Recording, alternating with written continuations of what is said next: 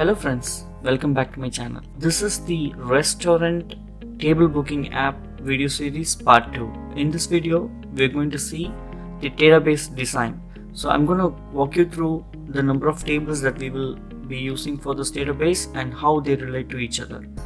Alright, come let's get started. So the screen that you're seeing is my Microsoft SQL Server Management Studio and I'm using 2018 you can use whichever studio you have or if you're using the Azure uh, SQL database using a different ID that's also fine.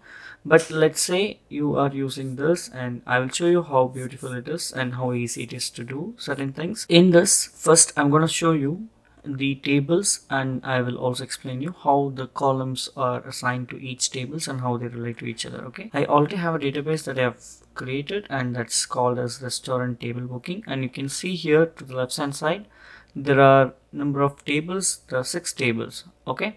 And uh, I'll show you how they are related but let's open a new query window. So you click on any of the database or the database at the high level here. Do a control N will open up a new query window. And this query window will have a connection to whichever connection you have done right? So you click on this connect and do a connect database engine.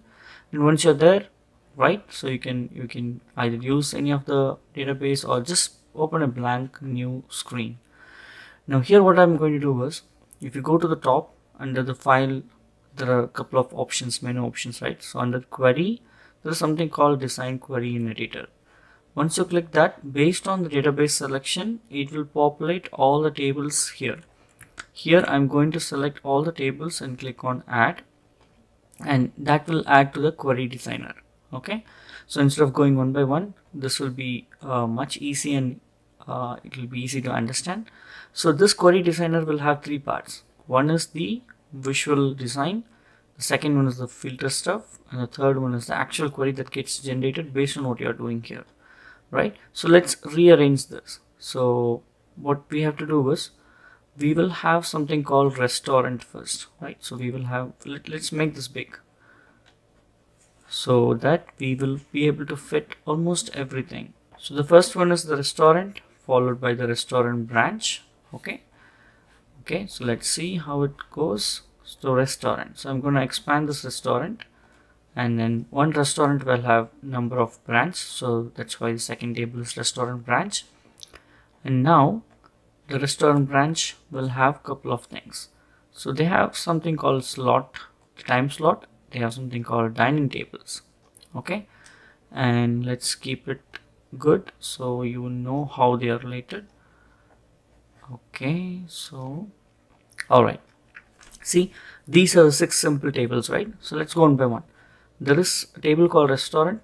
We will have a columns called name address the phone number email and the image of the restaurant. Okay this is the primary table. Primary table means every single restaurant details that you have it in this table will be unique. Only one restaurant should be there. Duplicate should not be there. But if you consider mcdonald or starbucks or any any restaurant that have multiple branches right? So based on the branches, the branches will come to the restaurant branch table. So the second table will have a reference to the first table. That's why it's called reference called a restaurant ID. And then the branch also will have its name, its address, phone number, email, and its own images, right? So that's why this table will have all these things. Along with that, there's an extra column called restaurant ID.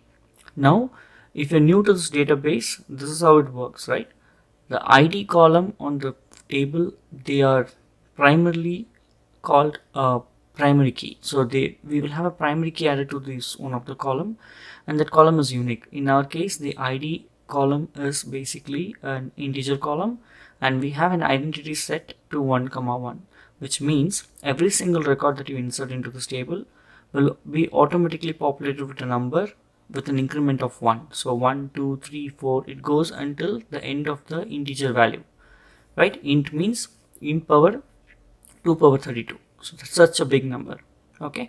The next big number is big int but let's stay focused on this. Now on the second table this column the, the restaurant id is called foreign key. What is foreign key? Basically foreign key means there is some parent to a to a particular record and that record will be a primary key column which is why in this table whichever the primary key right that will become a foreign key in this one on the child table. So this is a parent table this is a child table and restaurant id here is called a foreign key and its own the actual id which is present in this table they are called primary key. Okay? So if you're new to this database this is how uh, this is what called the primary key and the foreign key concept. Great. Now each restaurant will have uh, the dining tables for people to come and have their food or their meal right? So that's why they, we have a table called dining table. Now based on the restaurant each restaurant will have you know four tables five tables or if the restaurant is very big it could have 20 tables 30 tables all depends on the size of the restaurant. Now each branch will have its own capacity and the seat name. So here we have three columns called branch id the seat name and the capacity. Okay? Now in this one if you look at this right this id is the primary key. This is nothing but restaurant branch right? Now this id became a foreign key to a third table and this is a child table. So this table dining table is a child table of the restaurant branch table. Okay that's why the primary key which is id now it has become a branch id ideally it should have been named as restaurant branch id just for the understanding purpose like how we named as restaurant restaurant id so here restaurant branch id instead of branch id but that's fine. So you as long as you understand that's fine. So this is a foreign key. This is a foreign key relationship. Okay. Now it has different tables. Each table is we're going to name it as a funny name or a, you know a interesting name. That's why I have a property called uh, a column called seat name. And each table the table is represented as seat name here. They will have a number of capacity. If they have a small table maybe two people big table four people six people right? Now we will stick to each table will have two people accommodated right? That will be the maximum accommodated. So if four people come probably restaurant will join two tables and become a, a seat for four, four people. Okay? We're gonna keep as simple as possible. Let's not complicate this application. Right? Now you understood the third table. Now the fourth table is the time slots. So what is time slots? A restaurant can be serving a food for breakfast lunch and dinner or maybe some other party time or something right so assumption is this time slot will have breakfast time 7 a.m to 11 a.m and then followed by 12 p.m. to 3 p.m. followed by that will be the lunch and then the dinner will be like from 6 p.m. to 11 p.m. okay based on each branch we will have so the meal type is the three types breakfast lunch and you know dinner maybe if something else come we can add it. All right and what we are going to do in this time slot uh, table is for each branch that's why there's a branch idc very good. See we have two foreign key relationships. So there are two childs for this table.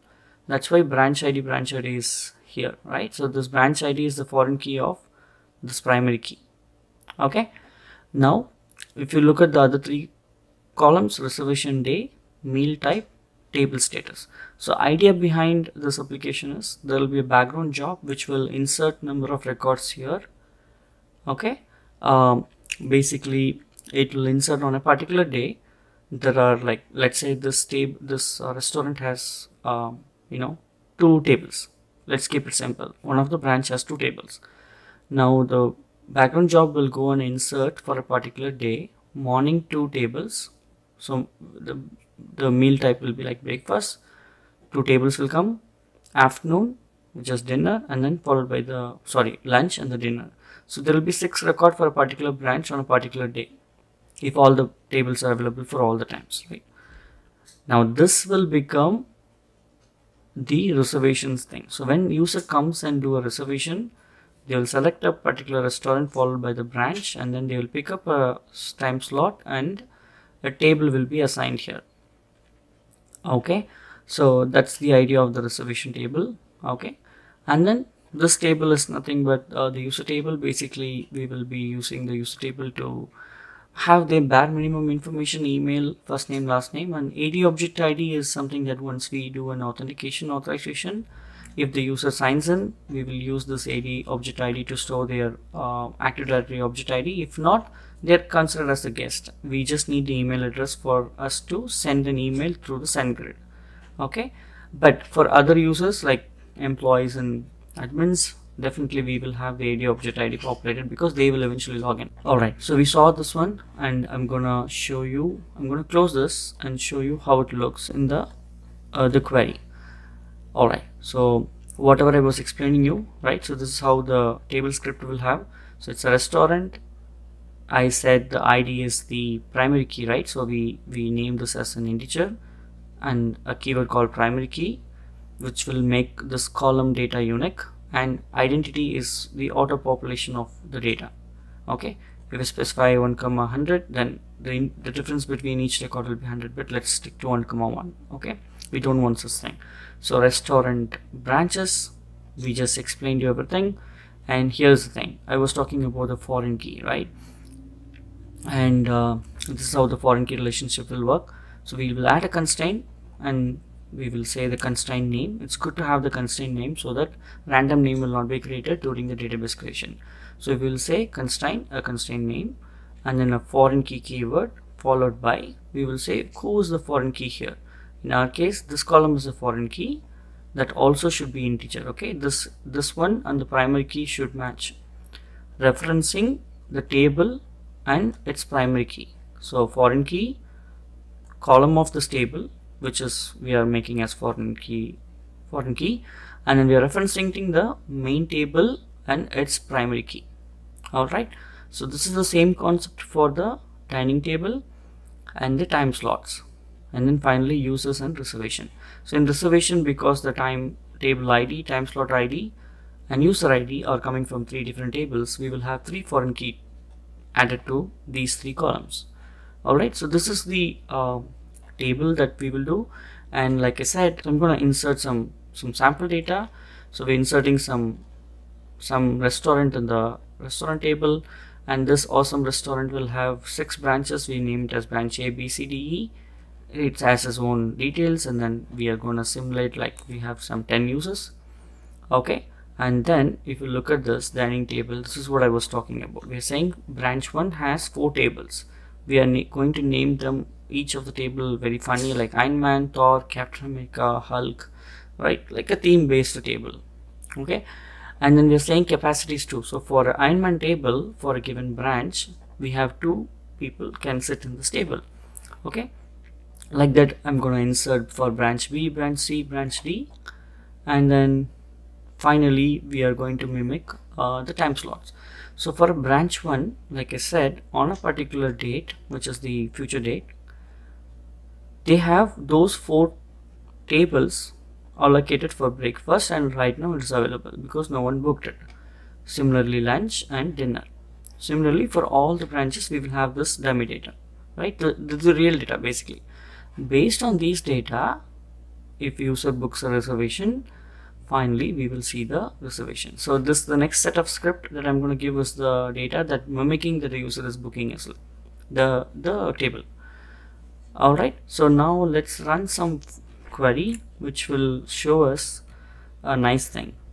So I'm gonna select this control X will execute this and if you look at this here you go. So the, the the last one that you're seeing is the slots. So we are saying branch this this first branch right have four four tables and they are located four tables for breakfast lunch dinner and all are available and few things are booked that's why they are changed as booking. And whichever is booked is changed as booked right? So similarly you can see what is available what is not available. And similarly you can also see based on the data the sample data that we inserted this John Jane and Mike have booked these tables on these branches on these dates for breakfast, lunch, dinner randomly, right? So we are just mimicked and we are going to do these things from the UI or even from our API. Okay, now this is the database design. I hope you understand and you enjoy this uh, and uh, if you have any more questions related to a specific uh, table design or anything do let me know in the comment section and uh, I hope even if you're new to this database design. You know how this tables are created how you can relate the tables through the query editor and um, you can insert the data right?